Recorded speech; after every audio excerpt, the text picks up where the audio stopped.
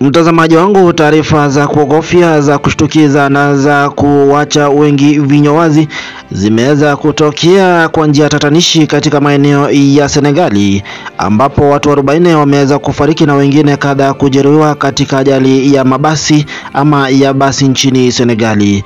Ni taarifa za habari ambazo mpenzi mtazamaji, naendelea kukuletea na kupeperushia, ni kufahamishe na ni kuarifu ni kipi haswa kinachoendelea moja kwa moja kutoka hapa MGN TV. Lakini kikubwa zaidi mtazamaji wangu, na kuomba ukumbuke kusubscribe. Hujambo na karibu, ganda nami kuwa nami hadi tamati, ni kufahamishe ni kuarifu kilichotendeka na kinachojiri kwa wakati huu. Ujambo na karibu.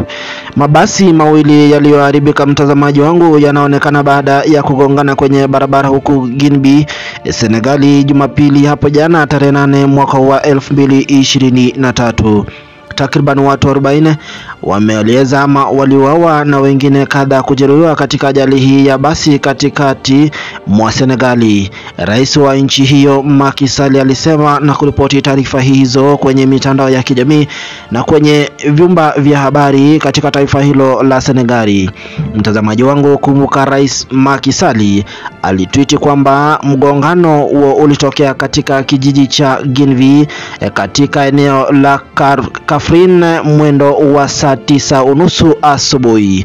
Nikimnukuu, nimehuzunishwa sana na ajali mbaya ya barabarani leo hii huko Ginbi na kusababisha vifo vya watu 40 na majeraha mengi mabaya.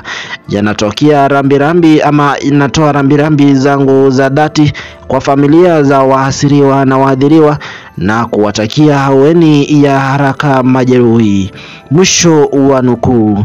Mtazamaji wangu, kumbuka aliweza kutangaza ama alitangaza siku tatu za maombolezo kuanzia Jumatatu leo hii na kusema atafanya baraza la mawaziri ama atafanya baraza la mawaziri kujadili hatua za usalama barabarani katika taifa hilo. Mtazamaji wangu, ni taarifa za habari ambazo zimeweza kutokea za tanzia na zenye huzuni, mtazamaji wetu, lakini kikubwa zaidi tunahakikisha kwamba tumekuletea, tumekupeperushia makala na kila jambo linalotendeka kutoka pembe zote za ulimwengu. Kwa sasa, mtazamaji wangu, na kutakia kila la heri, lakini hivi punde nitakuwa narejea na taarifa zingine zaidi, lakini kikubwa zaidi, mtazamaji wetu, kumbuka kusubscribe ndiposa nitakapokuwa narejea moja kwa moja huyo wa kwanza kuzipokea.